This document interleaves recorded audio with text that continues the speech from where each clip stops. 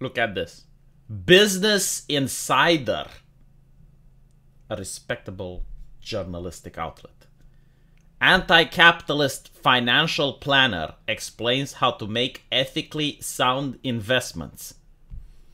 Asking an anti capitalist about investments is like asking a vegan how to cook your steak. Why would I do that? And uh, yesterday, Trump had a speech about um, blue haired teachers.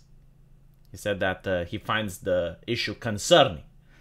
And other people on Twitter were like, oh my god, so now you can't dye your hair in whatever color you want?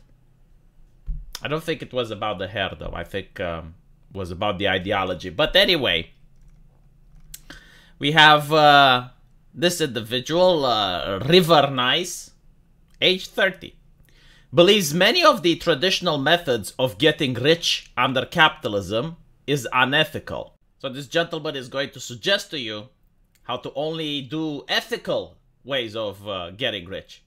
And I'm sitting here and thinking, getting rich is actually quite difficult. There aren't that many ways available. So let's say that you have 10 opportunities in your lifetime to get rich. So what this gentleman does is it comes to you and says, all right, well, we're going to remove six of those opportunities. You now only have four. What a brilliant business strategy. I, am really glad that Business Insider is bringing this to my attention.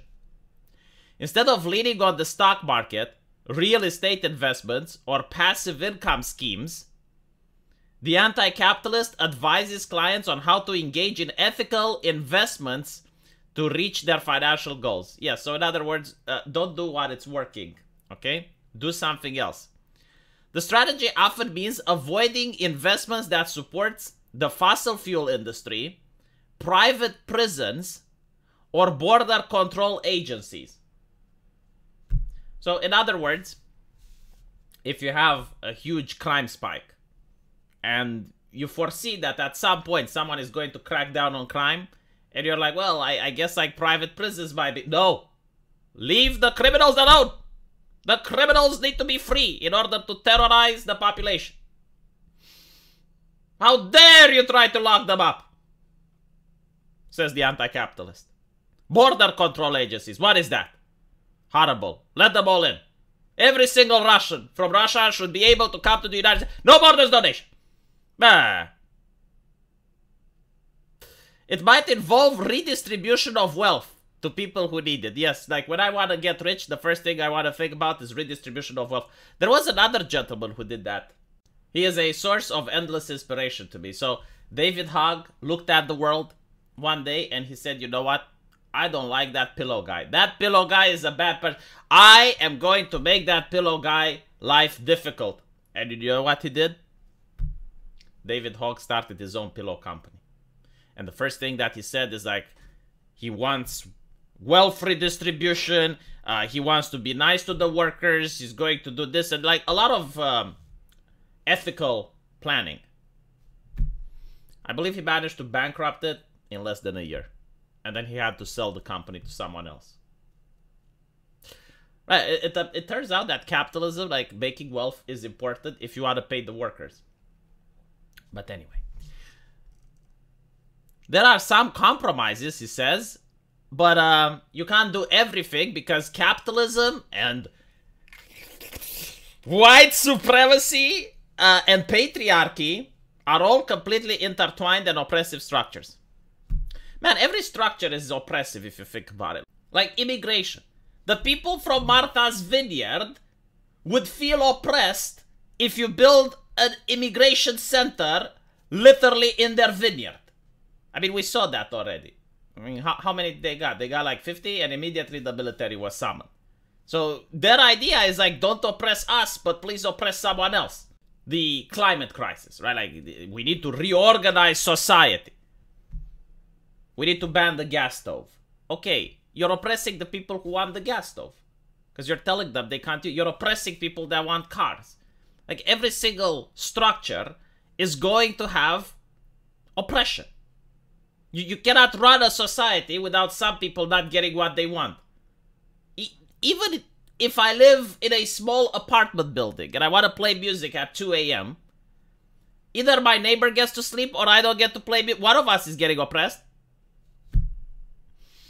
A rising majority of young adults are critical of capitalism. Yes, because they do not understand how the world works. Like these people legitimately believes that food sprouts from the supermarket. That electricity just manifests itself through the walls like the Holy Spirit. You, if, if they do not even understand basic stuff, Joe Biden himself mocked the American people in an interview saying like, who understands logistics? And I can't take that away from him because he's absolutely right. Yeah, like ask a random American, where does the stuff come from? He probably has no idea. So if you do not understand how the world works, no wonder you have videos like that previous TikTok lady, which says that she doesn't want to work, she wants to have fun. And she doesn't even think about the fact that, oh, she wants to travel. Because she doesn't need to work, but like when she's traveling, a pilot has to carry her ass in a plane uh, a flight attendant needs to make sure that she's comfortable. When she gets off, a taxi driver needs to carry her luggage. And, and when she enters a hotel, she's got staff that needs to take care of all her needs, right? This is what it means to do what you want. It means other people have to work for you. You know, those people probably want to have fun too, but well, someone doesn't get to have fun, unfortunately. The current system that we're having works quite well. You know, everyone gets to take their turn in having fun. But anyway, right, so they're talking about the housing affordability crisis, but at the same time, they, they want to take away from the border agents. I, I, I would really love to understand the math here, right? Like, it's so fucking simple. More people require more housing, right? But the houses do not sprout out from the ether, especially in the United States where you have like homeowner associations. I recently made a video about a famous basketball player who is very left leaning, supports the Democrats, supports all of these ethical policies until an affordable housing was about to be built in his backyard. And all of a sudden, he doesn't support that anymore because the way the world works, unfortunately, in a society, some people will be oppressed. The question is, like, who gets to be oppressed? And every single time you see that socialists, they run out of envy. Right? Like they're looking at the very top, like the, the few successful people in society, which are usually a couple of percentage, and they want that. Okay? They don't want to change the system or break the wheel or uh, create... No, like they are envious. They want what rich people have so they can oppress others. Because the solutions that they are proposing is definitely not something to end oppression. It's either to make life miserable for everyone, so that by comparison they're not as miserable as they used to be, or so that they can gain power and become the ones that are doing the oppression.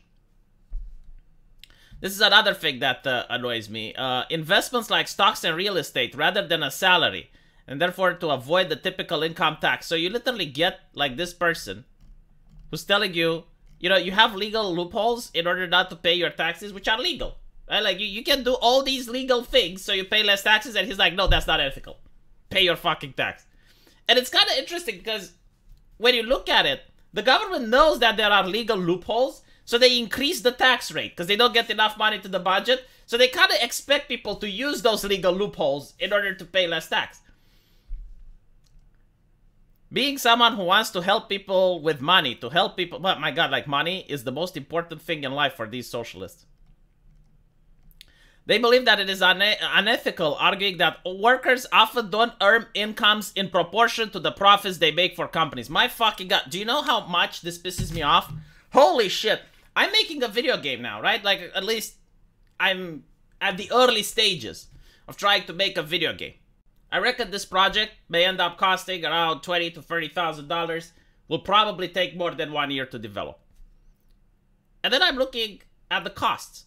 I will have to pay around 30% to Steam. A publisher probably takes around 10 to 20%.